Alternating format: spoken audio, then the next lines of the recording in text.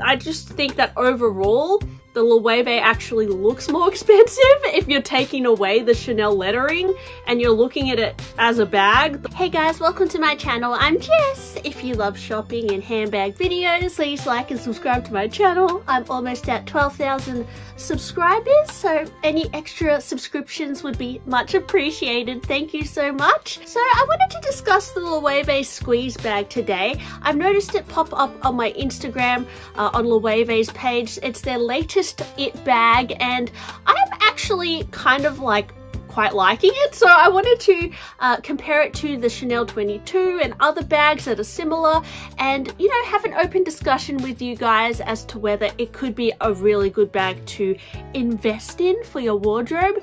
I recently watched a YouTube review of it or in first impressions of it from Michele Wang who recently purchased the Loewe squeeze bag and I think it actually looks quite nice. She described the leather as very soft feeling, uh, very luxurious to touch.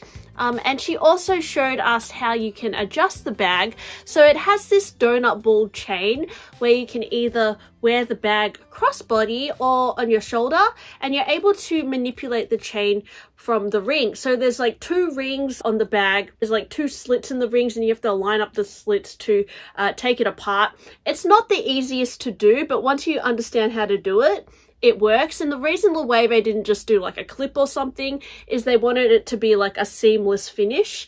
And I really like how you can adjust this bag to exactly where you want it. I've discussed this before in my videos, but being able to adjust your bag to your body proportions or where you like it to sit, like, you know, some people like high crossbody, some people like low, some people like shoulder. I think this was a very smart move for Loewe because it means that it becomes more versatile, whether you're really tall, short, uh, you like to wear shoulder bags, you can really style this in a multitude of ways, which I think gives it an advantage advantage against bags like the Chanel 22. Now, I think you guys know my thoughts on the Chanel 22 if you watch my channel. I'm not a huge fan of it.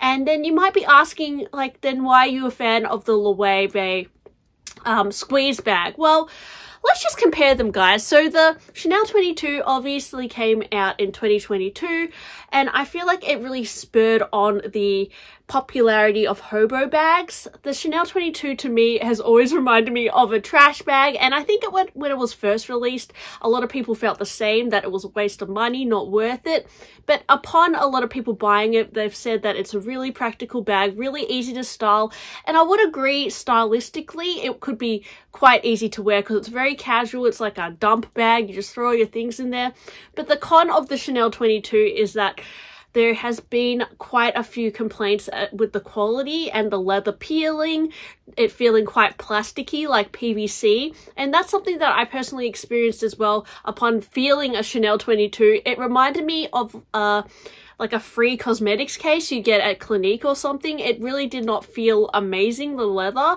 And that's something that I think if you're going to make a bag so simple, it really needs to at least showcase um, luxurious leather or beautiful hardware, which to me the Chanel 22 is lacking.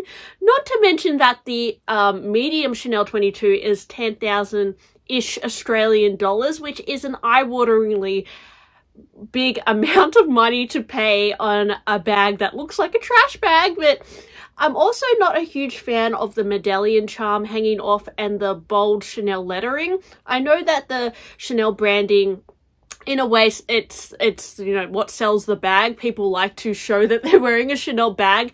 And i guess these extra elements of the bag showcase that it's a chanel bag which is what a lot of people would like to show to other people. But sometimes you don't want this giant branding on you. And i know for some people it's it's nice but i think on this particular bag it it doesn't really yeah i guess it's kind of like compensating for like the lack of the quality of the leather. They just yeah it just seems like a bit like you're obviously buying it for the brand chanel and there's it's lacking in other areas. I think as a brand chanel is much more desired than other brands because it, it it's built such a fantasy around the brand. They're really good at telling stories. They're really good at having amazing fashion shows. Obviously, there's a lot of heritage and history behind Chanel, and there are so many die-hard fans who collect Chanel bags. So there are a lot of people who are proud to say like their bag is a Chanel bag, but I don't know. It's got to a point where I feel like for me personally, if I'm buying a bag, I'm not always gonna purely buy it because it's a certain brand. I also need it to be excellent quality and feel really good quality. And to me, the Chanel 22 was lacking those details. Um, and also comparing to like the drawstring effect on each of the bags, the Loewe squeeze bag and the Chanel 22. When I look at the Chanel 22, the the kind of ruching of the drawstring, it doesn't look as pleasing to me as the way they've done it in the Loewe bag. The Loewe bag, it looks a lot more uniform, uh, precise, kind of more um, sophisticated in the way that it's done. I think that the it has less of that obvious trash bag, dust bag look, and it's a little bit more elevated than the Chanel bag. Also, the, the Loewe bag is a better price point at the $6,000 Australian mark, so it is several thousands of dollars less than the uh, Chanel 22 and it also they pride themselves in their leather which is something that really drew me to the bag. Now in the description on the Loewe website it says that it's a sophisticated and feminine bag in a buttery nappa leather. It is a masterpiece of traditional craftsmanship innovation innovative research and distinctive design, with a surprisingly light ruched body and adjustable donut chain, and a tactile squeezy handle. But I like how they've gone into detail with the description of like, you know, what it is and like the details behind it. Whereas, as you know, guys, when you go on the Chanel website, it literally just says shiny calfskin and gold tone metal black. So I don't know. In terms of like romancing me with the materials and the craftsmanship, Chanel is not really doing that with this bag. I think you're purely buying the 22 because it's a Chanel bag and it says Chanel.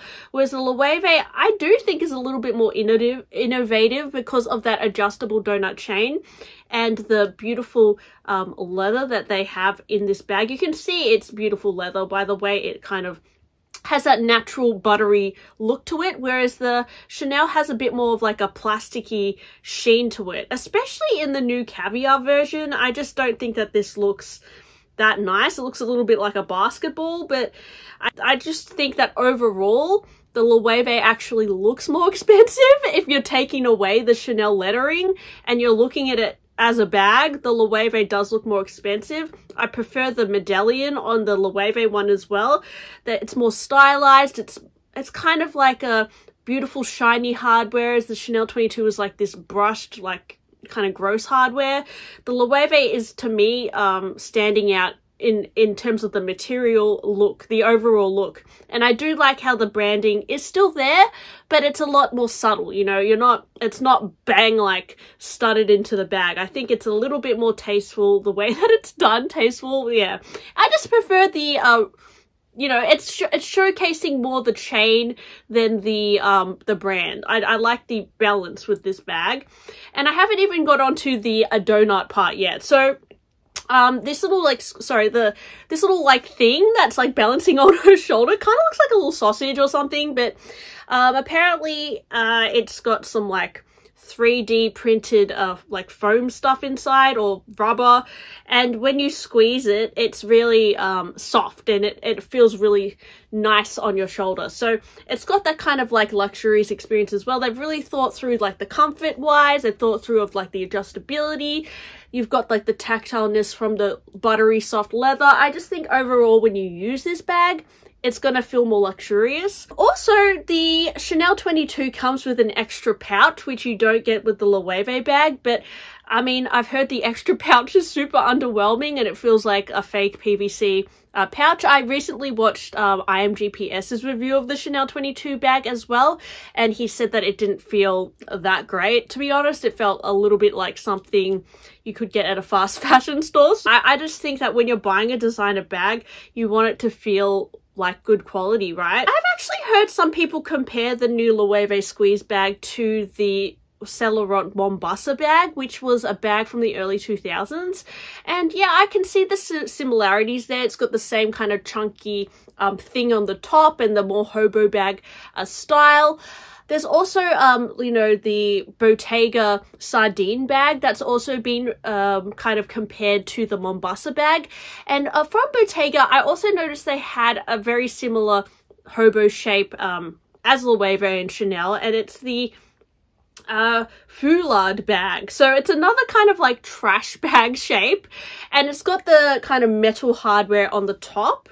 And it's reminded me of the Loewe a little bit just because it's got that like thing on the top and then the slouchiness. And you can get it in uh, the woven leather or you can get it in the plain leather. Uh, this bag is still less than the Chanel bag, so I think it's around $7,000 for the woven one. And um, I think this actually looks quite, this is a really nice option as well, I thought. Although I don't know if that metal part would be that comfortable on the shoulder because if you're comparing to like the squeeze bag, I think that would be much more comfortable. And I do like the the um, idea of being able to adjust the chain with the squeeze bag. I think that would make it a lot more functional than the the Bottega Foulard bag, but I thought this was another interesting option if you wanted like a really soft leather bag and something a little bit more minimal in that hobo silhouette. Um, but yeah, guys, let me know what you think of the Loewe squeeze bag. I think it's a really nice option. I quite like it. I I probably won't be buying it myself, not because I don't like it, but because I already have, um, I've been using my trim bag a lot, which I I usually just use my Trim 35 from Hermes and uh, this one has been a really nice kind of like hobo bag that I've been wearing. Really easy to style. Um, so I would recommend hobo bags as a bag. Like if you if you haven't bought a hobo bag, they're really easy to wear. You can throw a lot of things in it. Um, it's super comfy. And I don't think that the hobo bag trend is slowing down anytime soon. I'm sure we'll see more kind of brands do this like shoulder bag look because it's really practical and it's like kind of an elevated tote bag which I think a lot of people uh, in this day and age just want bags that are comfortable and easy to wear. So yeah, thanks for watching my video today. Hope you enjoyed it. Please like and subscribe and I'll talk to you guys on my next one. Bye!